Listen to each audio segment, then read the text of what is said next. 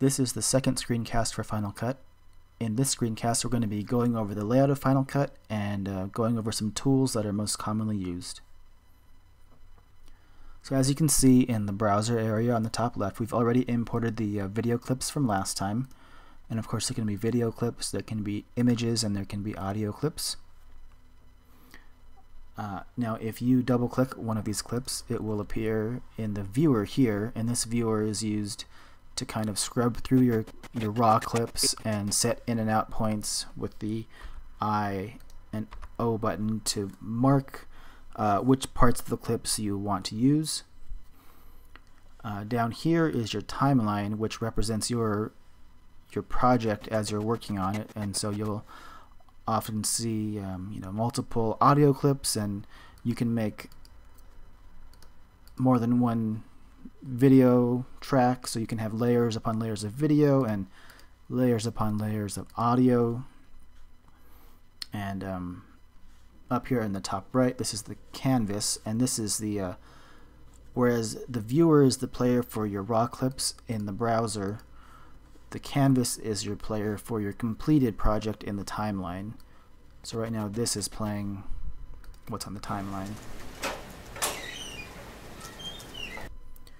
Now some of the most uh, commonly used tools would be the selection tool, which is uh, hotkey is the A button, and that lets you kind of select what's on the timeline, and then you can then drag that back and forth.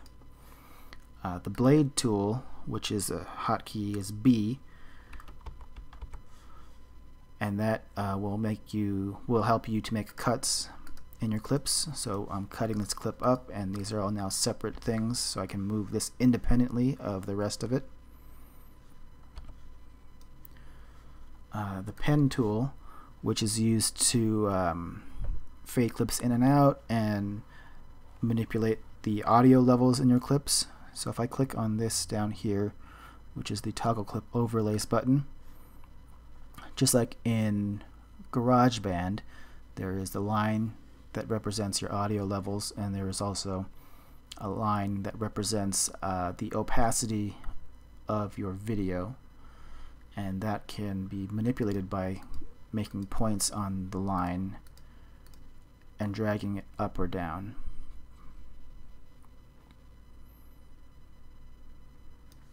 And the last tool that is most commonly used is the uh, select track forward tool and that is to select uh, multiple tracks. Right now the arrow is pointing to the right, so if I click here it will select everything to the right of this clip, like so.